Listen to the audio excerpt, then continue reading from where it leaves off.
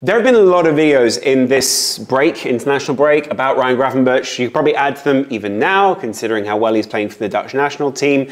And I think a real thing that everyone is missing is the holistic side, the almost non-stats or deep stats side of what Ryan Gravenberch is actually doing and how you don't just need to list off the amount of interceptions or the amount of passes or whatever it is that makes him a good player. There are plenty of things that I'm sure that someone like Jurgen Klopp, someone like Arne Slot, someone like Thomas Tuchel, though he didn't appreciate, appreciate him in the same way, and possibly even Julian Nagelsmann would have really enjoyed and wanted that kind of player in their side. It's fair to say that he's gone through quite a journey, not only because of club circumstances for Liverpool, but also because of the overall meta changes in football right now. And I think he's currently benefiting from managers wanting to play a system that benefits exactly his kind of style and possibly is where football is currently going. I'm not saying, therefore, it's only going to be now that he's good, but if you can build up your confidence in a time when football is more built towards you, then you're more likely to have that long career, or at least more likely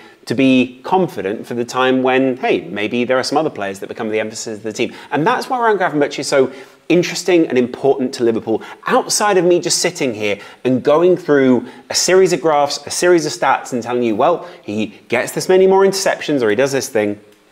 All those things are great, and I'm sure you've all seen those videos. I'm sure you've all seen why he has the vision, why he has the physicality, why the numbers are improving.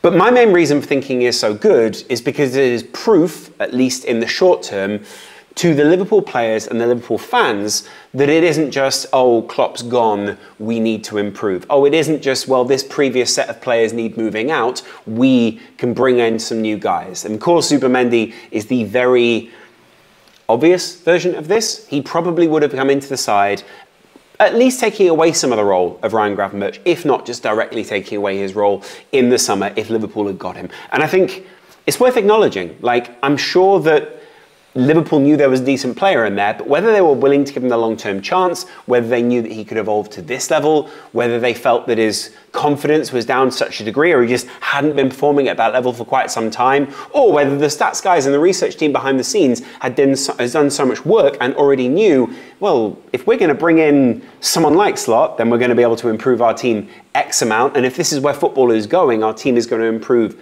in this direction, maybe there's an argument to be made for that. Because after reading Ian Graham's book, How to Win the Premier League, which is hopefully also an instruction manual for Arne Slot this season, I see how Liverpool work a little bit better. You see why Liverpool might build towards someone like Arne Slot, and why, whilst we're busy crediting Jurgen Klopp and Pep Lijnders with so many of these signings, Liverpool's data guys had a huge influence on what Jurgen Klopp do, now does or did, and what Arne Slot now does and did. And I think that's important to acknowledge here. Like, you know, there's a reason Jurgen Klopp has gone to Red Bull, and I think a lot of people are busy talking about Red Bull cans and corporatism. The underlying element is the stats which back up the real life data that a lot of these coaches want to see. The stats that Red Bull really buy into to identify so many of these young talents which then go out and go across Europe. And Ajax arguably is one of those breeding grounds in a similar way to the way that you know the guys at Red Bull seem to be. It just takes people down a slightly different route, and he went through this. He's been a wonder kid since a lot of people would say day dot, but since a very young age, right?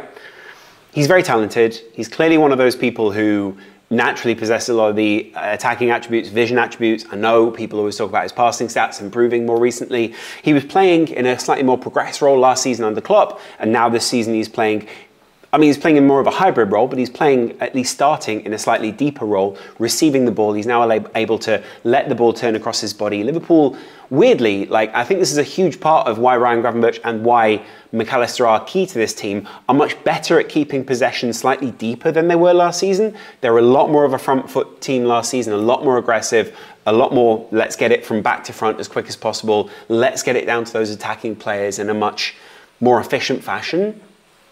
Now, under slot, there is a lot more about control. There is a lot more about how the ball moves. And I'm not saying none of these things happened under Klopp. Of course, these things happened under Klopp. But the way that he does it, the style and the speed at which he does it is very different. And the emphasis, therefore, is very different as well. Like I said, I could have listed a bunch of stats telling you why he's better. But I think the other side is his confidence has changed. And the same will be going on for other Liverpool players as well. You can see he's just willing to, more willing to try things in games. He's been given that license to actually just go out there and do some of this stuff rather than, say, in a previous era, even just last season, we would have seen hey, possibly you're just going to get the ball, you're going to move it onto this area, you're just going to get the ball, and you're just going to move it onto this striker or this player or wherever it goes. I think all of that is really worth acknowledging.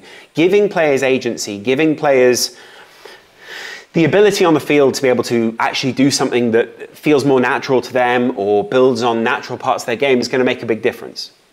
I also get that, you know, clearly he's, he's someone who's growing into his body still. He's still only 22 years old. He's still finding what the limits and outer bounds of where it is that he can push himself on the field is. He's very tall. He's clearly got good pace. The amount of times where you think he's maybe lost the ball and he just comes out the other side of it, Liverpool have got a number of players like that. And I feel like maybe there was a slight stats push in that kind of area at one point for Liverpool. They've got people like Nunez, people like Gakpo, people like Gravenberch.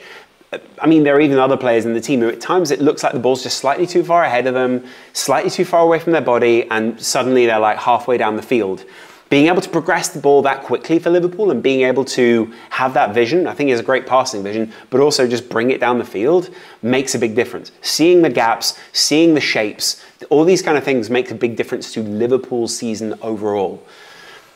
The real concern, I guess, for him is A, staying fit, but B, staying in the team.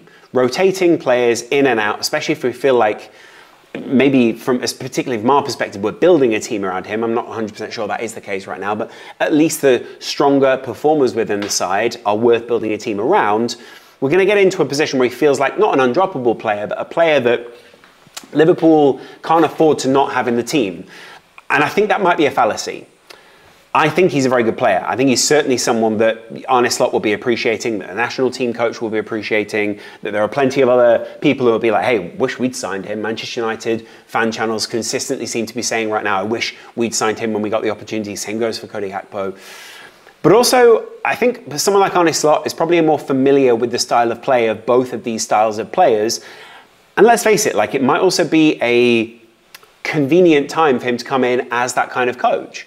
I think you know, overall we've seen an improvement in the side, or at least changes within the team that feel like improvement because we knew where the issues or the flaws were in Klopp's system, and we knew possibly what needed to fix it. It was possibly not even a Klopp system at that point, it was possibly a Pep Lijnders system, but with Klopp at the very top of that was sort of, you know, learning around that. Anyway, point is, I think what we're now seeing is a holistic feedback on the stats that have been run and run and run at Liverpool. They don't only run one set of stats, they'll run five, six, 10, 50, 1,000, all of these different um, models which show, hey, if you play this play in this particular position, you're going to get more likely to progress the ball in this fashion, the ball to be passed into this area, and in an Arne Slot system, X amount of times out of 10, you're going to win this game against this team which is partially why in another video this week I'm going to lay out why it won't be that much of a surprise to either Liverpool or Arne Slot as to why they're in this position. In fact, they may even be one game behind where they thought they were going to be, and that's probably the Nottingham Forest game in terms of win uh, win rates. They're going to have run this thousands of times. The models that they have, it's not like they just sit down and go, should we just play Football Manager and see if this works? Like these things are there to push out stats as to if you play this kind of player in this position, then that's how that's going to play. They will know that Ryan Gravenberch will have been more suited to this position, and they will know that the experimental elements came from someone like Jurgen Klopp. Because guess what? The difference now this season is you do want two sitting midfielders to give you the numbers overload a little bit deeper and then progress the ball down the field. The fact he's able to take the ball across his body and then push it back out helps a lot. Like, you know, he can then distribute it immediately down the field, but it's also just his physicality element, the height, but also just where he's playing rather than one, two, three. They're now playing two, two, one. It makes a big difference to Liverpool that they can put two deep players in Mac Allister and Gravenberch in those two positions. That wasn't necessarily traditionally a Klopp system. Klopp, I think I think Liverpool and Klopp both knew that the system was going to need to change in order for this team to move forward. There are plenty of other teams in the Premier League playing three in midfield. Liverpool's still playing three in midfield. The shape doesn't look actually all that different to where the Klopp was playing it. But overall, what we're seeing is they're fitting the pieces that they had into different positions.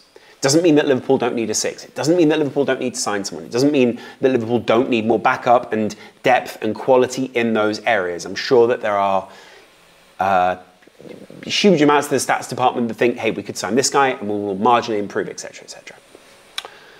But it does mean that in the short term, Liverpool have found a guy rather than having to go out and pay more and find that guy. And it's also changing the way that Liverpool play.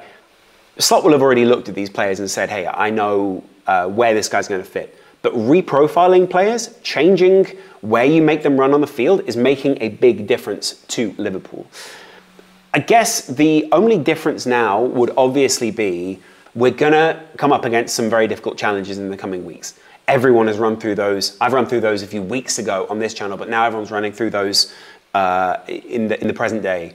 We know that these are going to be bigger tactical challenges, physical challenges, man-to-man challenges. People are going to come up with specific plans just to stop Ryan Gravenberch, specific plans just to stop Alexis Mac Allister, and the same goes for Szoboszlai, Curtis, and like Liverpool's midfield is going to get man-to-man marked. It's going to get a pretty intense um, once over, MOT, whatever you want to call it, from opposition players in the coming weeks.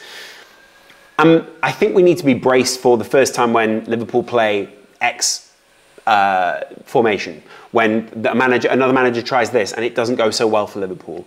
There are going to be times where they do get caught out. It's interesting, like, you can see very often smaller teams try to score very early on against Arne Slot as a Liverpool manager, right? And I'm not saying you don't want to score early, it massively improves your chances of winning, right?